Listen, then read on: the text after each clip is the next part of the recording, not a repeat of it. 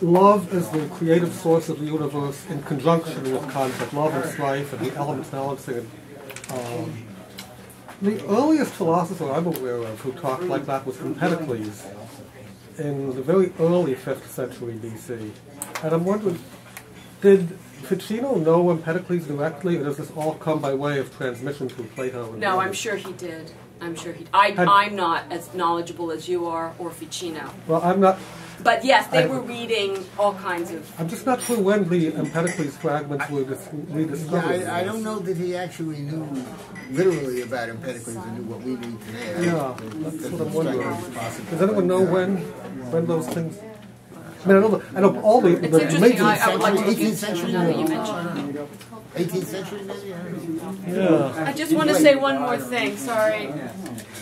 This is my. Yeah. Hey, hey, hey, here we go, here we go, here we go. I have a box of them here. Thomas Moore wrote the foreword. I have an interview with Thomas Moore on my website, and uh, it's a beautiful picture book. It's twenty-five dollars. I will sign it if you would like to buy it. If not today, I will later have PayPal on my website, which I don't have right now.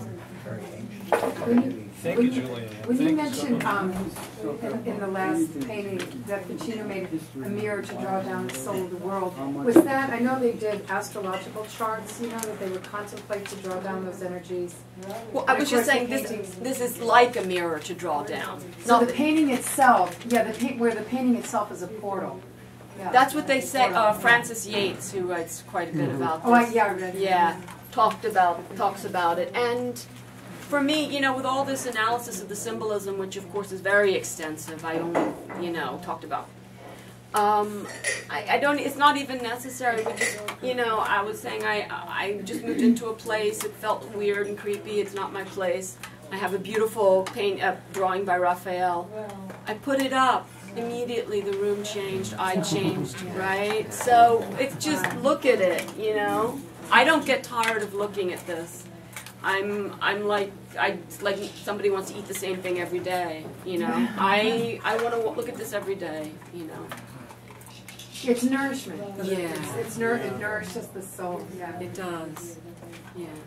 It's supposed to offset the Saturnian influence, which is uh, the depression, the melancholy. Although Saturn is supposed to be, uh, you know, if you're born, there's this born under Saturn. If you're born under Saturn, it tends to make you more artistic and creative and philosophical.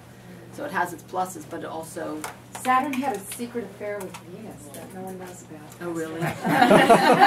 Well, but she does everybody. No, She had an affair Well, with everybody. Right, but in Saturn's case, you know, Saturn is always dirty old, you know. Right, and dirty old this- man, yeah. And he actually, he actually, she actually had a civilizing influence on him, so there's an aspect of Saturn, I think, that's evil. Well, the one thing that, that I would um, add, I mean, I, I think, um, uh, Julianne, that, that you've, that you've hit, you know, like some of the major correct images. Well, there's so for this many kind of thing. things. There's a lot I of mean, stuff, it's but just these are the big ones, and, and you- you got the big ones. so. Few. So that's pretty cool. I, I, I would just say that I, I think there's, that the idea of Neoplatonism has actually kind of come under attack recently, um, somewhat, because it's really an academic distinction. And it almost does more harm than good if you're really trying to study the tradition, I think. Uh, this is just my You mean the word or what? The, the idea that there is such a thing that's different than Platonism. This is Yeah. a scholarly thing where they where they really work on the differences, and they work 110 percent on the differences, and they never talk about the continuities. Well, scholars need to draw lines and scholars establish need to do that, right? That's how they make their living. But that's not if you're trying to use the system to get anywhere to either create art or to, to affect Well, your own no. I mean, I think during that's- the, it was doesn't only help. called So- Neoplatonism later. Right, Yeah. later During the on, that's Renaissance, exactly it was right. Platonism. It was Yeah. Platonism, and even to the Plat- to the Neoplatonists, it was It was Platonism. Yes. They just Yeah. felt that And Plato furthermore- needed to be further explored. Fur- Well, furthermore, theurgy, which is the big issue here, had been running parallel to Platonism right along, right since Egypt. Right? Because you're talking about magic. Theurgy Yeah, is because the magic. Egyptian, the Egyptians